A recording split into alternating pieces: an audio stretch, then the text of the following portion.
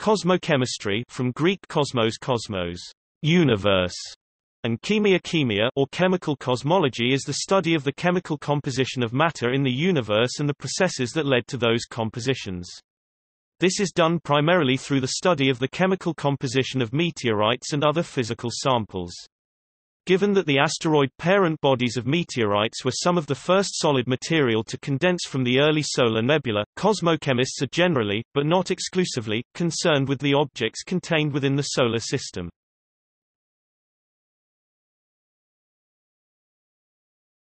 Topic: History In 1938, Swiss mineralogist Victor Goldschmidt and his colleagues compiled a list of what they called cosmic abundances, based on their analysis of several terrestrial and meteorite samples. Goldschmidt justified the inclusion of meteorite composition data into his table by claiming that terrestrial rocks were subjected to a significant amount of chemical change due to the inherent processes of the Earth and the atmosphere. This meant that studying terrestrial rocks exclusively would not yield an accurate overall picture of the chemical composition of the cosmos. Therefore, Goldschmidt concluded that extraterrestrial material must also be included to produce more accurate and robust data. This research is considered to be the foundation of modern cosmochemistry. During the 1950s and 1960s, cosmochemistry became more accepted as a science. Harold Urey, widely considered to be one of the fathers of cosmochemistry, engaged in research that eventually led to an understanding of the origin of the elements and the chemical abundance of stars. In 1956, Urey and his colleague, German scientist Hans Suess, published the first table of cosmic abundances to include isotopes based on meteorite analysis. The continued refinement of analytical instrumentation throughout the 1960s, especially that of mass spectrometry, allowed cosmochemists to perform detailed analyses of the isotopic abundances of elements within meteorites. In 1960, John Reynolds determined, through the analysis of short-lived nuclides within meteorites, that the elements of the solar system were formed before the solar system itself which began to establish a timeline of the processes of the early solar system. Topic meteorites Meteorites are one of the most important tools that cosmochemists have for studying the chemical nature of the solar system. Many meteorites come from material that is as old as the solar system itself, and thus provide scientists with a record from the early solar nebula. Carbonaceous chondrites are especially primitive, that is they have retained many of their chemical properties since their formation 4.56 billion years ago, and are therefore a major focus of cosmochemical investigations. The most primitive meteorites also contain a small amount of material stardust recent findings by NASA, based on studies of meteorites found on Earth, suggests DNA and RNA components adenine, guanine and related organic molecules, building blocks for life as we know it, may be formed extraterrestrially in outer space.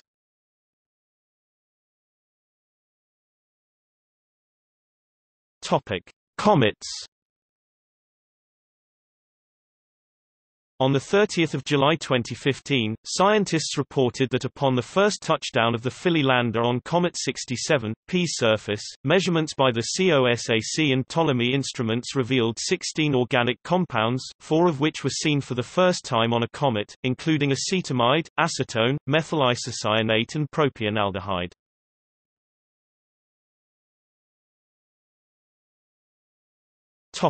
Research In 2004, scientists reported detecting the spectral signatures of anthracene and pyrene in the ultraviolet light emitted by the Red Rectangle Nebula no other such complex molecules had ever been found before in outer space. This discovery was considered a confirmation of a hypothesis that as nebulae of the same type as the Red Rectangle approach the ends of their lives, convection currents cause carbon and hydrogen in the nebulae's core to get caught in stellar winds, and radiate outward. As they cool, the atoms supposedly bond to each other in various ways and eventually form particles of a million or more atoms.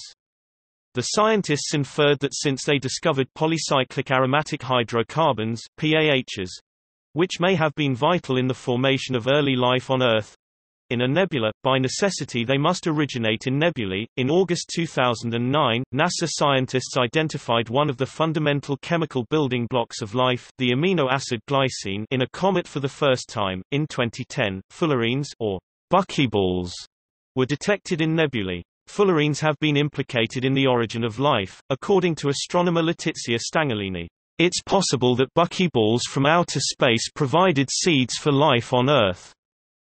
In August 2011, findings by NASA, based on studies of meteorites found on Earth, suggests DNA and RNA components adenine, guanine and related organic molecules, building blocks for life as we know it, may be formed extraterrestrially in outer space. In October 2011, scientists reported that cosmic dust contains complex organic matter, amorphous organic solids with a mixed aromatic aliphatic structure, that could be created naturally, and rapidly, by stars. On August 29, 2012, astronomers at Copenhagen University reported the detection of a specific sugar molecule, glycolaldehyde, in a distant star system.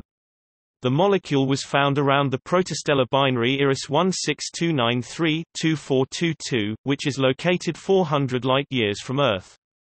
Glycolaldehyde is needed to form ribonucleic acid, or RNA, which is similar in function to DNA. This finding suggests that complex organic molecules may form in stellar systems prior to the formation of planets, eventually arriving on young planets early in their formation. In September 2012, NASA scientists reported that polycyclic aromatic hydrocarbons PAHs, subjected to interstellar medium ISM conditions, are transformed, through hydrogenation, oxygenation and hydroxylation, to to more complex organics.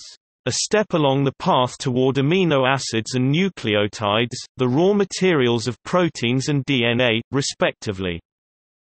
Further, as a result of these transformations, the PAHs lose their spectroscopic signature which could be one of the reasons for the lack of PAH detection in interstellar ice grains, particularly the outer regions of cold, dense clouds or the upper molecular layers of protoplanetary disks.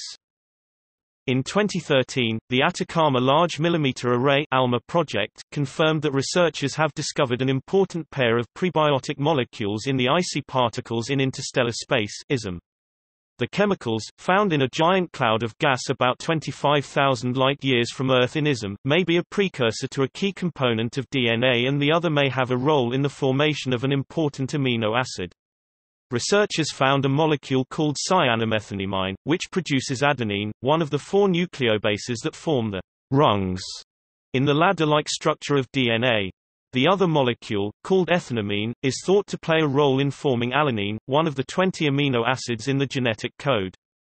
Previously, scientists thought such processes took place in the very tenuous gas between the stars. The new discoveries, however, suggest that the chemical formation sequences for these molecules occurred not in gas, but on the surfaces of ice grains in interstellar space. NASA ALMA scientist Anthony Remijan stated that finding these molecules in an interstellar gas cloud means that important building blocks for DNA and amino acids can seed newly formed planets with the chemical precursors for life. In January 2014, NASA reported that current studies on the planet Mars by the Curiosity and Opportunity rovers will now be searching for evidence of ancient life, including a biosphere based on autotrophic, chemotrophic and or chemolithoautotrophic microorganisms, as well as ancient water water, including fluvio-lacustrine environments plains related to ancient rivers or lakes, that may have been habitable. The search for evidence of habitability, taphonomy related to fossils, and organic carbon on the planet Mars is now a primary NASA objective. In February 2014, NASA announced a greatly upgraded database for tracking polycyclic aromatic hydrocarbons (PAHs) in the universe. According to scientists, more than 20% of the carbon in the universe may be associated with PAHs, possible starting materials for the formation of life. PAHs seem to have been formed shortly after the Big Bang, are widespread throughout the universe, and are associated with new stars and exoplanets.